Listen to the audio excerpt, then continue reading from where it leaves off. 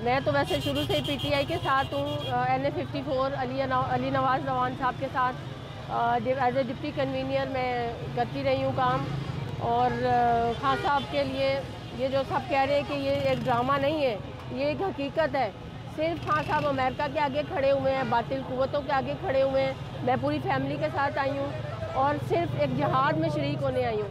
अब मैं party worker नहीं हूँ, अब मैं एक मुजाहिद बन गई हूँ। हम इस जहाद में शरीक हो गए हैं। जिसके लिए खान साहब ने कॉल दी है और ये ड्रामा कहने वाले इन वो ड्रामा बन जाएँगे दुनिया में। इन अल्लाह ताला उनको दुनिया में उनकी ये भयानक जो सियासत खेली है खान साहब के ख़िलाफ़ वो खुद इन नाकाम नामुराद होंगे और खान साहब के साथ हम कल भी थे आज भी हैं और हमेशा रहेंगे। वो जिस टाइम कॉल करेंगे हम हाजिर होंगे। अमेरिका को पैगाम देनी चाहेंगे? अमेरिका के लिए यही है कि देखें जैसे मेरे हस्बैंड ने कहा कि जी ओ, हम सिर्फ़ एक इस्लामी कुत बनना चाह रहे थे। ओ के इजलास हुए। हमने कहा कि चले जी चाइना रशिया हम भी एक पावर बनेंगे जो कि अमेरिका को कबूल नहीं हुआ। इसलिए उन्होंने किसी ये सारी कुतें मिला के हम हमारे इमरान खान को सिर्फ़ उन्होंने उतारने की कोशिश की है। और इस इंशाल्लाह इसमें नाकाम हो गए क्योंकि अवाम की ताकत उनके साथ है। हम दो तिहाई एक सीरियत से वोटिंग के साथ हम वोट की पावर से खान साहब को फिर लाएँगे अल्लाह की रहमत से। खान साहब इन कामयाब होंगे। सच और हक की जीत होगी और ये सारे नामुराद होंगे। ये आज जो सारे चोर इकट्ठे हो गए अगर खान साहब की जानब से रोज़ इस तरह रैली की कॉल दी गई रोज़ जलसे की कॉल दी गई तो क्या आप शिरकत करेंगे इनशाला इनशाला हम शिरकत करेंगे क्योंकि हमारा मकसद है कि खान साहब को वापस लाना है और खान साहब को सिर्फ़ अब ये अवाम वापस ला सकती है। खान साहब के लिए कोई पैगाम देंगे खान साहब आप कल भी मेरी शान थे आज आप आज भी मेरी शान है। मुल्क मेरे मुल्क की शान आपसे है। और मेरी शान आपसे है।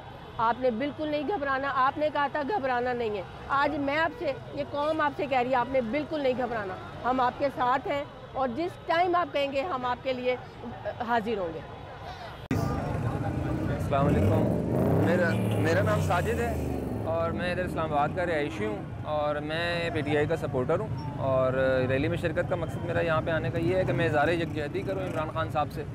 उसकी वजह यह है कि वो एक ईमानदार इंसान है और वो जो ख्वाब उन्होंने एक दिखाया हुआ है हमें, उसमें अगर वो कामयाब होते हैं या नहीं होते, कम से कम उनका जो रास्ता है ना वो ठीक है। तो इस वजह से मैं उनको फॉलो करता हूँ। और जो अभी आप कह रहे थे कि जो अमेरिका और इनके कहने पे ये यहाँ पे हुआ है, बिल्कुल ऐसा है, क्योंकि आपने देखा है कि सडनली जो सियासी पार्टीज़ एक दूसरे को शक्ल देखने की भी रवादार नहीं थी, वो फौरी तौर पर यकदम यकजा हो गई हैं। इवन हमारी इस्टेब्लिशमेंट ने जो है वो भी आ, वो बयान दे दिए जो इमरान खान साहब नहीं देना चाह रहे थे। बहरल ये है कि फ़िल वक्त इन्होंने हमें मिल के चोरों ने हटा दिया है। तो आगे अमेरिका की बिल्कुल इसमें मदाखलत मौजूद है। उसकी वजह यह है कि कोई भी अमेरिका की ये हिस्ट्री है पिछले 100-200 साल से वो सुपर पावर है ही इसलिए कि वो कमज़ोर मुल्कों को या कर्ज़े के ज़रिए शिकंजे में जकड़े रखता है या वहाँ साजिशें करके और कई ऐसा हुक्मरान वहाँ नहीं आने देता जो एंटी अमेरिका हो।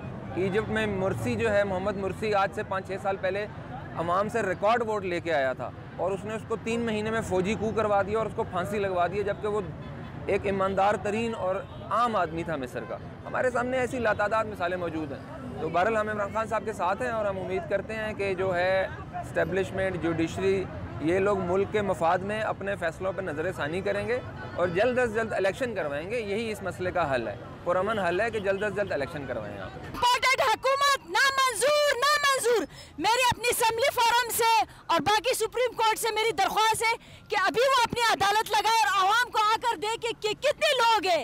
आए इनको असम्बली फोरम पे बुलाए कि कितने लोग कितनी हुकूमत कितने आपके बैरून मुल्क लोग वोट कास्ट करते हैं। हमारे सुप्रीम कोर्ट ने निज़ाम को दरम बरम कर दिया है। मेरी इनसे रिक्वेस्ट होगी कि अपने फैसले पे अभी भी नजरसानी करे। इनको वैसे भी यू टर्न लेना आता है। ये लोग कहते हैं ना खान साहब को यू टर्न लेना आता है। यू टर्न लेना अब इनको भी आता है। रातों को my name is Javeria Raza और uh, मैं स्टूडेंट भी हूँ और साथ ही साथ मैं जॉब भी करती हूँ। I am here supporting Imran Khan because I selected Imran Khan we selected Imran Khan and I am here supporting him again because जो कुछ हुआ that was all very much you know devastating for us all of us आप यहाँ पर लोगों को देख सकते हैं। आप यहाँ पर हर किस, किस्म के लोगों को देख सकते हैं, हर तबके से ताल्लुक़ रखते हैं वो लोग। तो we do not want you guys who are you know जो रातों रात आए एंड दे जस्ट डिड जो सबने देखा we don't want you please get off we want Imran Khan Want him back. अ, क्या जो ये स्टेटमेंट जारी की गई है खान साहब की जानब से कि अमेरिका ने मुदाखलत की है पाकिस्तान के अंदरूनी मामला पे? आप समझती हैं कि उन्होंने ठीक बात की बिल्कुल। जिस तरह से अपोजिशन अभी कह रही है कि उन्होंने खुद से बनाई हुई कहानी है हम बचपन से ये सब चीज़ें देखते आ रहे हैं कि किस तरीके से इन अपोजिशन के अरकान ने हमें उल्लू बना के रखा हुआ है। हमारे पेरेंट्स को हमारी जद्दी पुश्तों को उल्लू बनाते आए हैं। और अब जब इमरान खान आके इस मुल्क को एक अच्छे तरफ़ लेके जा रहा था तो ये लोग इन लोगों को क्यों आग लगी? इसीलिए आग लगी ना क्योंकि बैरूनी फंडिंग तो इन लोगों को मिल नहीं रही थी। इन लोगों को बाहर से प्रेशर मिला। जब बाहर से प्रेशर मिला इनको डंडे पड़े तो इन्होंने आगे से यहाँ पर ये दंगे करना शुरू कर दिए। इस सारी सिचुएशन के बाद खान साहब के लिए क्या पैगाम देंगे आप? We love you and we want you back